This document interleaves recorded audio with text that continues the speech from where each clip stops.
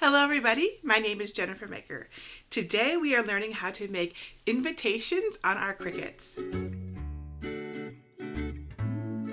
So about a month ago, my guy Greg asked me to marry him and I said yes.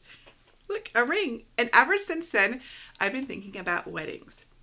And I wondered, is it possible to use my Cricut to make beautiful wedding invitations?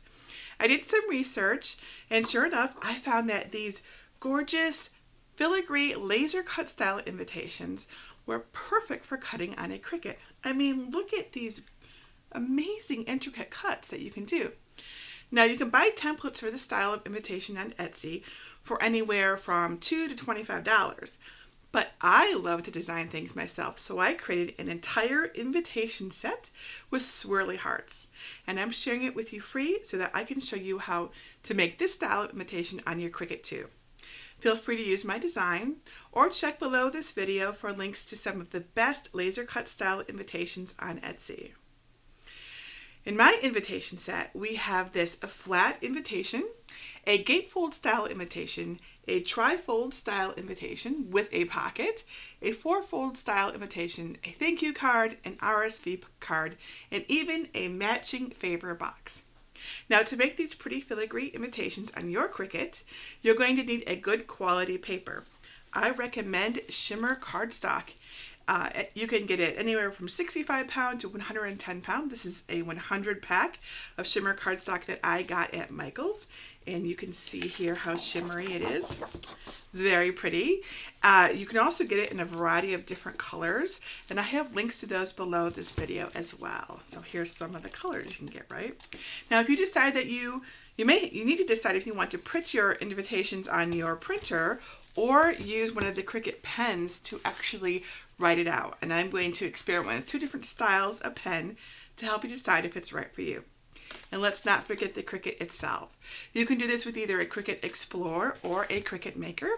And you're also going to want a fine point blade and a scoring stylus or a scoring tool, as well as a new light grip mat. And you're also going to need some things to keep your invitations together. For that, I recommend um, glue dots, tacky glue, tape, and complementary colors of ribbon, anywhere from a quarter of an inch to three eighths of an inch. And I'll show you when to use which ones for the best results. So you ready to make these? Let's head on over to my blog and I will show you where you can find the free filigree cut invitation set. All right, so head on over to jennifermaker.com. My tutorial for these projects is on the blog, but what we're looking for are the files. So click on libraries up there at the top. And then you'll want to either request a password if you don't have one, or go ahead and head on into the resource library and you'll find uh, there's two different files. There's one for the invitation set itself, and there's a separate file for the favor box. So you'll want to just search on the word filigree to find both of them and click each one to download it to your computer. And then you also make sure that you unzip it.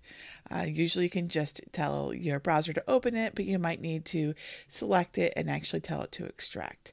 So we're looking for the SVG file for both of these two projects, and we're going to upload both to Cricut Design Space. So let's head on over there and I will show you how to prepare that file. All right, so here we are in Cricut Design Space. Click on New Project and then click on upload over on the left and click on upload image and click browse. And you're going to go search for the SVG file that you just downloaded. Make sure it says SVG in it and click open.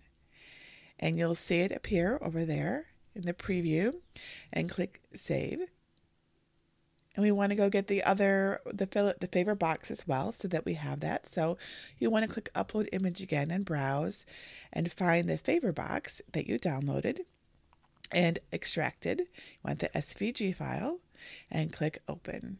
And you'll do the same process. You go ahead and save that. And once they're uploaded you select both files. And then select the, the green Insert Images button in the lower right corner. And then they'll both appear on your canvas in Design Space. Uh, they're on top of each other, so we'll move them so we can see them. Now, this is my design, and if you like this idea but don't quite want my design, there are things that you can do. In fact, you can actually design your own card like this. It's amazingly easy to do using either Inkscape or Illustrator, which is what I use to design this. And I actually teach people how to do this in my course called Cut Above. And so if you're interested in making your own filigree style invitation or card or anything like that, I encourage you to check it out. And this is the what it looks like as you design. However, today we're just going to work on this invitation. So once you're in design space, this favorite box up here is fine. You may want to resize it. You can go as wide as 11.4 inches so that it fits on your mat. You're not going to be able to go a lot bigger than that unless you go to a different size mat and paper. But the invitations down here do need some preparation. All these lines you see here in this red box, those need to all be converted to score lines. So we're going to start by ungrouping these invitations so that we can see each individual element. Now we need to click on these black lines that we see here. So here's one right here. It might be hard to select. If it is, just go over and look for the things that look like they're just lines like this. And then you, you go up to the line type menu and you choose score. And this turns it into a score line. And of course, if you don't plan to score, you can just delete these entirely. But we want to score. So then we select both the base layer and the score line together and click attach so that it scores on the card, not just, you know, it needs to actually, we need to tell it what to score to. Now, these here have no score lines. We have to do nothing. This, however, these have score lines. So again, we want to identify just that, just the line. So you, then here it is. We change it from line, um, from cut to score in the line type menu. And then we select the base layer that we want to actually score. So you'll see two items selected and then you click attach. Now you're scoring that base layer. Do the same thing for this one. We'll click on just that cut that line there, change that to score, and then select the base layer below it. You hold down the shift key and you can select both at the same time and then click attach.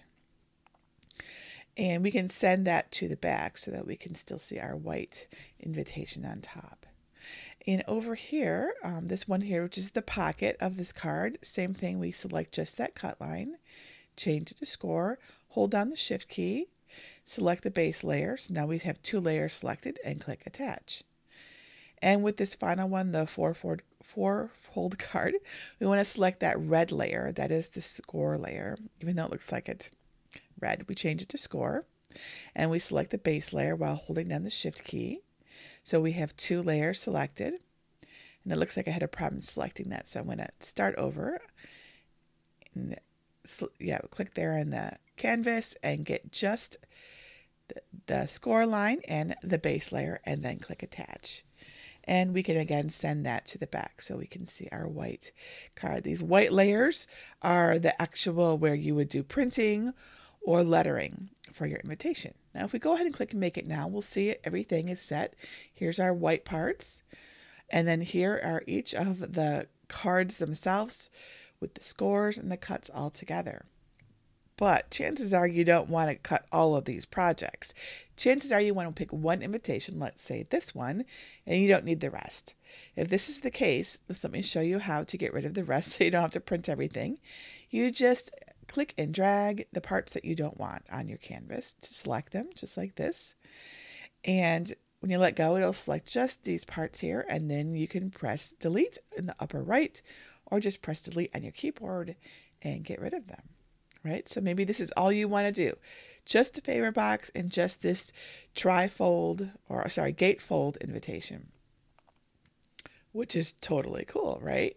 You may want to put some lettering on your invitation, right? You might want to use a Cricut.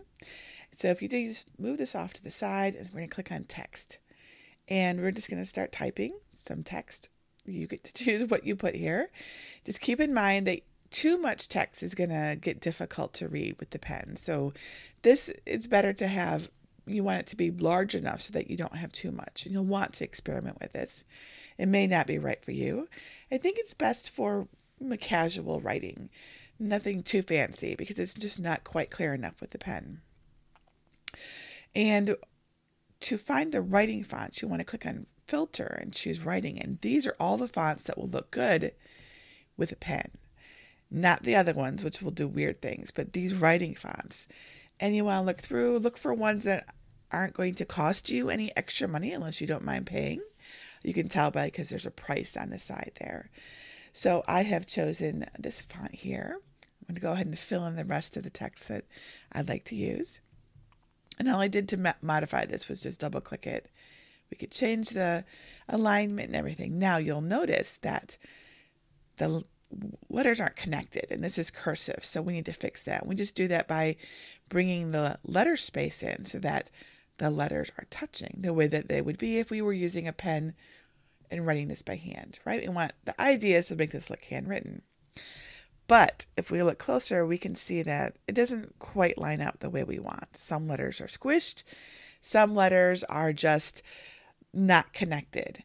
But there's ways that we can fix this. If you go up to advanced and do ungrouped letters, you now have total control over every single letter and you can just move things around until you're happy. This will take a while, uh, so you'll need, want to be patient and just you know select individual parts or letters and move them until you feel like it looks the way that you want. And again, you're going to want to do some testing. You'll probably need to fiddle with this a bit to get it the way that you want but it can have a really nice effect, especially if you're doing any kind of like envelope addressing, which we'll talk about a little bit later.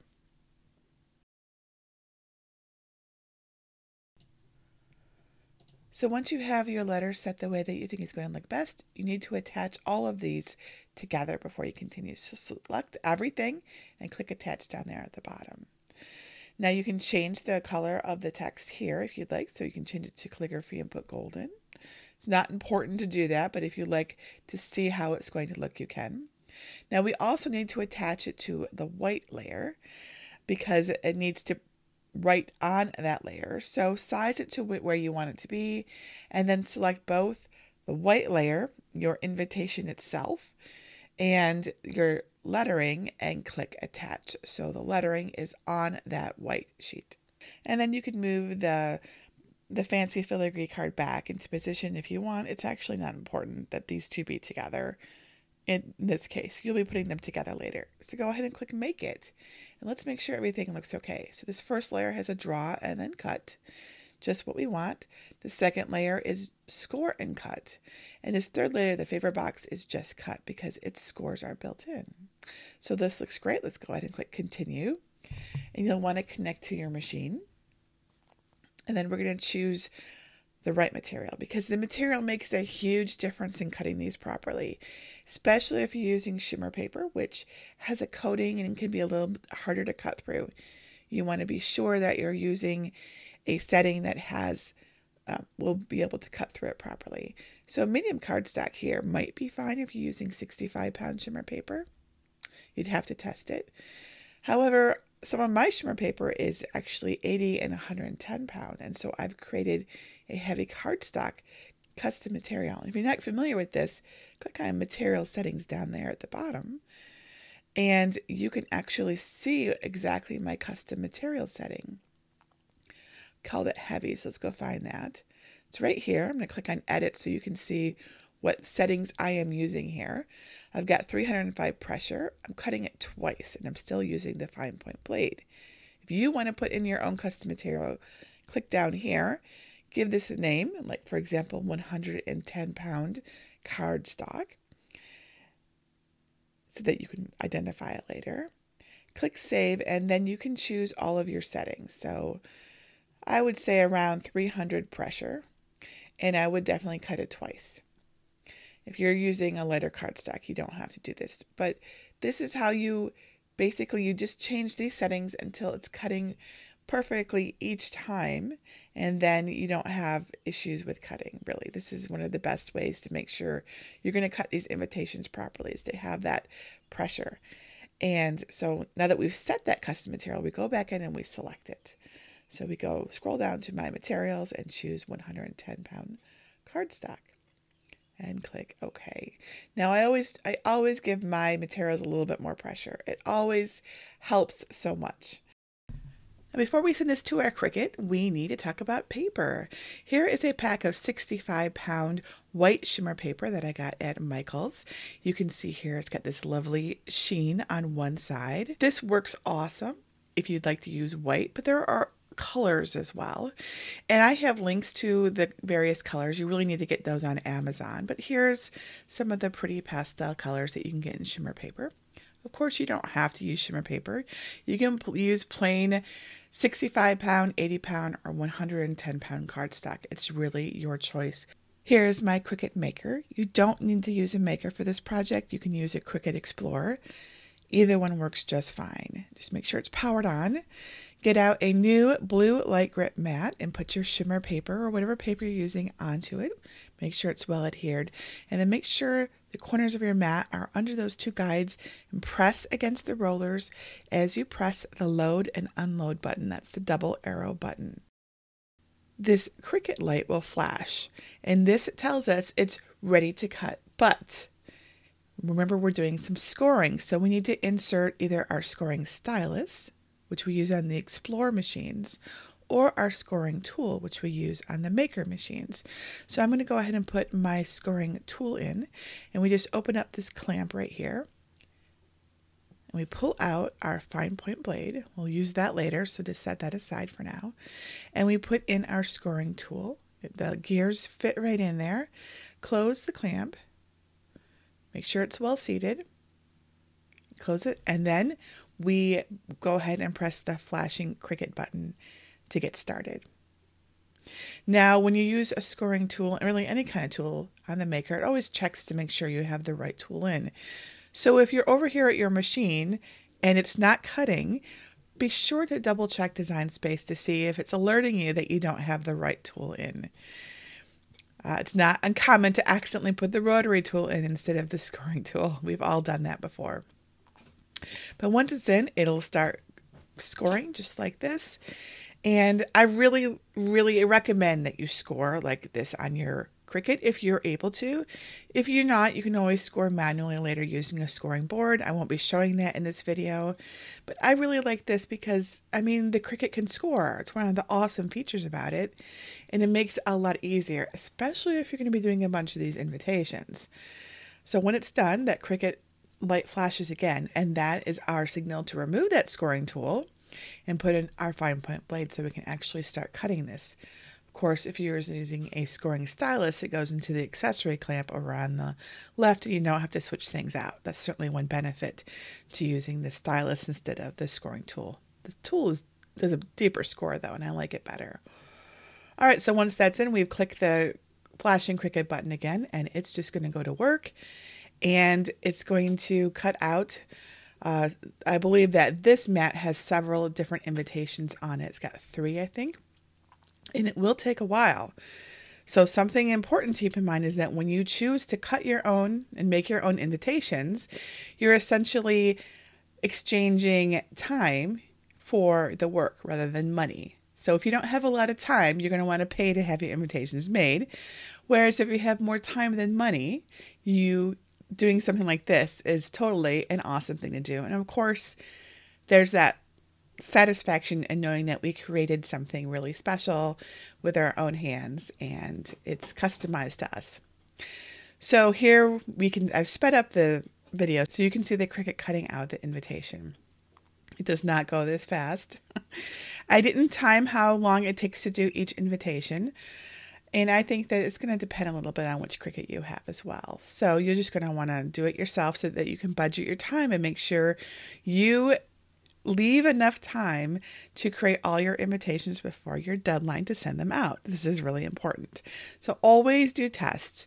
Time how long it takes to do things. Make sure you have all your settings. Uh, you know, when if it's not cutting all the way through or it's tearing, as it cuts, there's a lot of things that could be going on. One, it may be that your mat is not sticky enough. Uh, two, it could be that your blade is not clean enough, and I will show you how to clean your blade. I, I, in fact, would recommend cleaning your blade right before you know every few invitations that you create. It's gonna it's going to pick up debris, and um, you want you want your cuts to be as sharp as possible. It just makes it so much easier. And of course, you need to make sure you have the right settings as we discussed. These are all very important things. It might take a few tries to get just the right settings, but don't give up.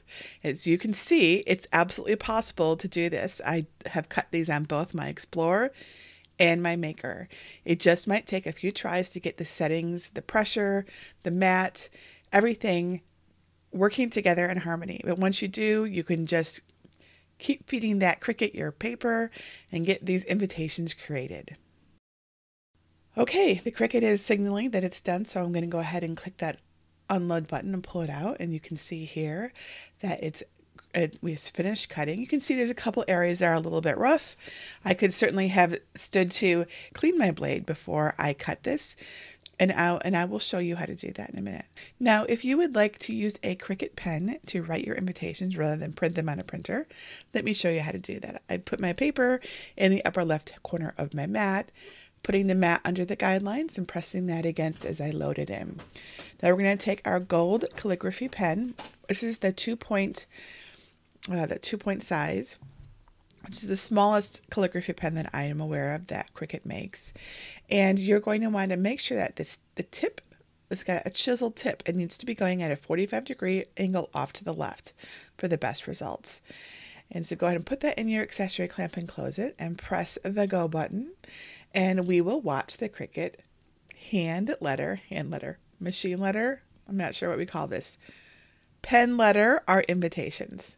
Now, as I mentioned earlier, you want to make sure that you're using the right combination of font and pen size to get the right effect. Let me come in here a bit and show you what this looks like. So you can see that looks pretty cool, I think. But if you get much smaller than this, the letters will start to just sort of fill in because this is a this is a pretty big pen, so in that case, if you need to have smaller text, I recommend that you use a gold glitter pen or really, you know, any color, but a glitter gel pen has a really pretty effect and it can have a much finer text. You can have much smaller text. Again, you're going to want to experiment with this until you get the right effect. By the way, here's a tip. Put the cap of your pen back on your pen as it's in the machine so that you don't lose it and you remember to cap it. Also, one more thing. If you get a package of pens at the store and you put it in and you start trying to use your marker and you discover that it's not writing, it's okay, relax. So, take your pen, make sure it's pointing face down, put it into your, you know, the cups over there on the side, just put it somewhere so that the tip of the pen is pointing towards the ground and leave it there for, you know, a few hours to get the ink flowing properly into the tip. And always store your pens that way. Always store your pens so that the tip is down.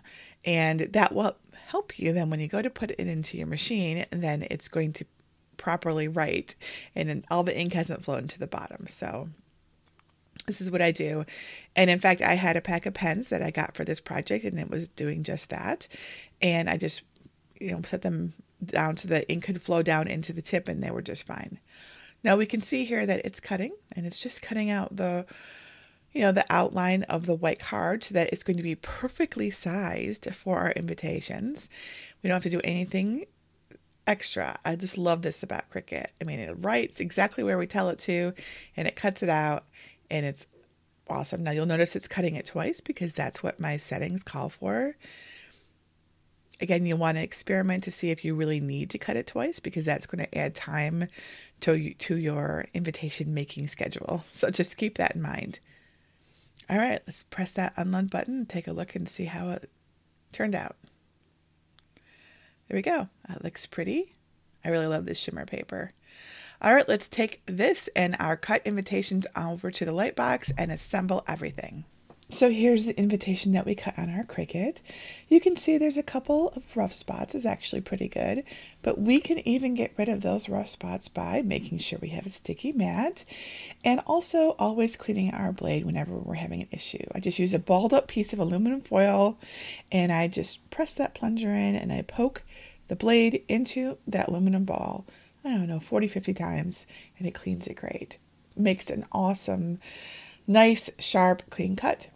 Now to remove your invitation from your Cricut mat, I recommend you turn your mat face down on your surface and curl the mat away from your surface and that lets your invitations come right off without curling themselves. So curl the mat, not your paper. You get left with all of this extra stuff on your mat. Uh, just make sure everything is out there.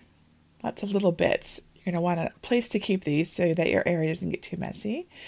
There's the pocket for the trifold. Now I use your scraper to get everything off quickly and easily, just like this. And uh, this the scraper works great. I even have a bigger one that's even faster. All right, let's take a look at what we have here. So here's all of our pieces, um, our thank you cards, our flat lay cards. That's our fourfold invitation. There is our trifold with our pocket. And this is our favor box. All right. And then these are each of the invitations that I put the gold lettering on so that you can see what they look like in each case. So these here are the two point calligraphy pen. And you can see it's a some cases it's a little little dark. I used this pack of pens here. Now I also used the gold glitter pen from the Martha Stewart ones, and you can see here that it's definitely lighter, but it's finer as well. And that might work better for you. I recommend you test to see which one works for your lettering and the style and everything that you've done. Now, let's put this together. I recommend glue dots for these invitations. So look for the score line. You're going to want to score where on the side that you see the score line. Very gently fold that in. And then you're going to want to use something to really reinforce that line. You could use your scoring tool itself. You can use something like a pair of tweezers, anything with a nice, good edge to really seat that fold down well because shimmer paper is quite sturdy. It's going to resist folding. So once you've got that in there, you're going to want to put your glue dots on the back. It's so fast to do this.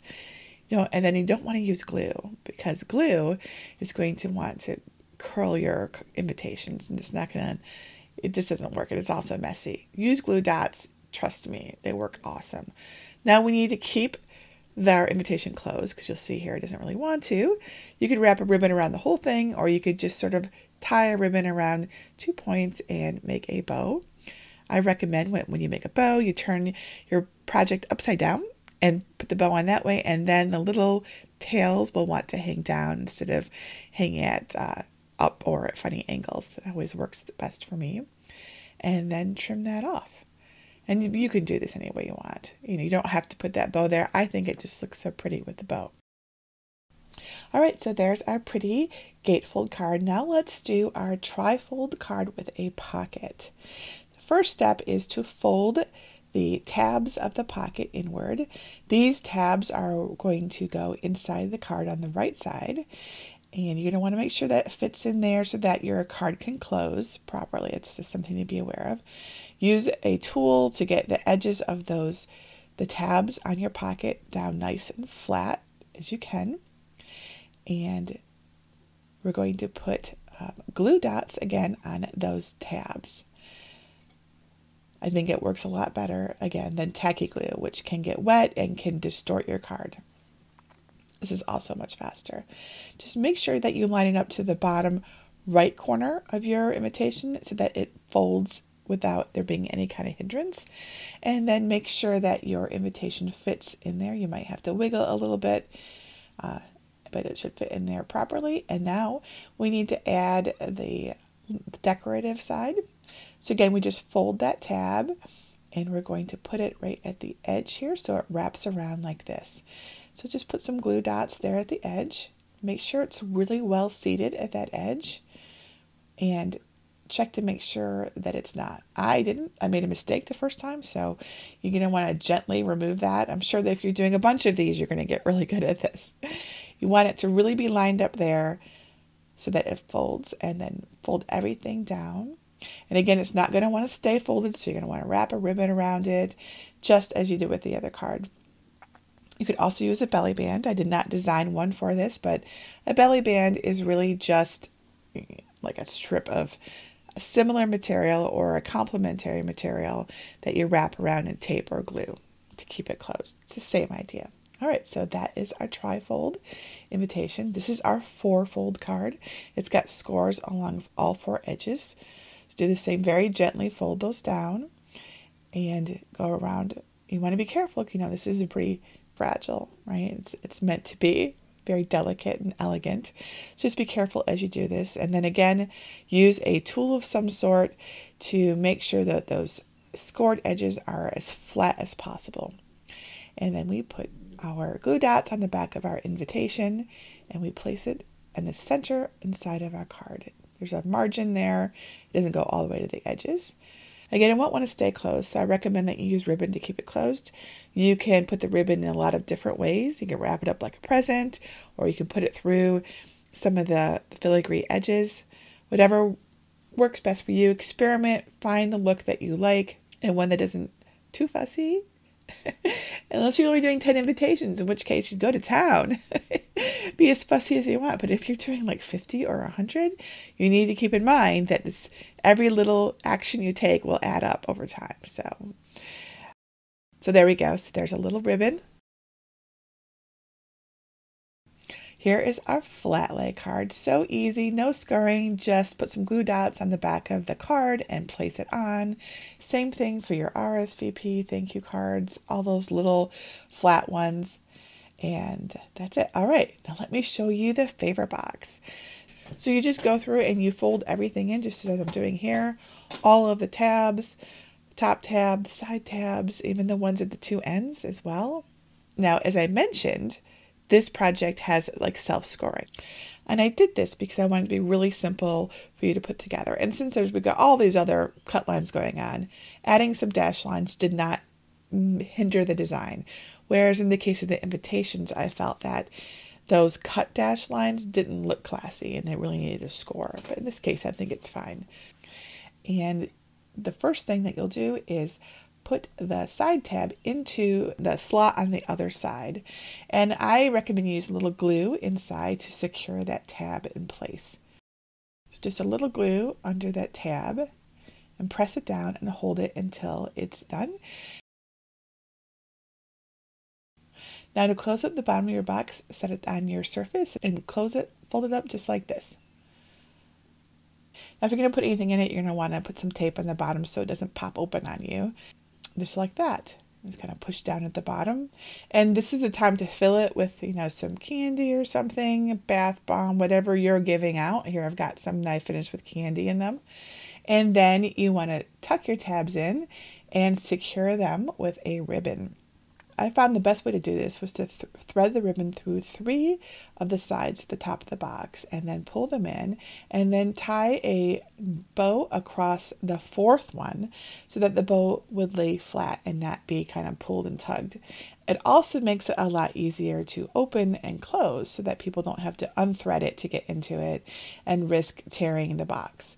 Because when this box is done, it makes a beautiful luminary and it's really nice souvenir of your special day. And there we go. There is our favor box. And here's our entire set. Isn't that pretty? I think that these are just so lovely. And again, there's many different designs that you can buy on Etsy. And I have links below this video if you'd like to see my favorites. And you can also make these yourself. Totally, you can make these yourself using Inkscape or Illustrator and my Cut Above SVG design course will show you how to do that. Now, these invitations are all 5 inches by 7 inches, also known as A7, which is the most common, common invitation size. So, you want to be sure to get A7 envelopes to match these as well. And if you'd like to learn how to address your envelopes with your Cricut, check out my Cricut writing and pen tutorial video, which shows you exactly what to do. Now, the biggest issue you're likely to have with making these invitations is just getting those fine, intricate cuts. Remember to use sticky mats, keep your blade clean, and make sure your settings are correct for the best results. It's definitely doable. And if you like the idea of these invitations but want a different style or something more personalized, it's actually really easy to design these yourself. Really, it is. I teach my students how to design cards just like this in my Cut Above SVG design course, which you can learn more about at jennifermaker.com slash cut above. This course is an excellent way to learn how to make designs that you can share or even sell yourself. And I'm opening enrollment again very soon. So if this interests you, be sure to check it out so you don't miss the enrollment period. There's a link below this video for more information on it. So, are you ready to make these? Because I'm so excited to see you make them. If you have any questions at all about making these invitations, please leave a comment below this video or even better, post over on my Facebook group at jennifermaker.com slash cricutcrafters. And that's it for today. Remember, if you can tell me what you want to make, I can show you how to make it. Until next time.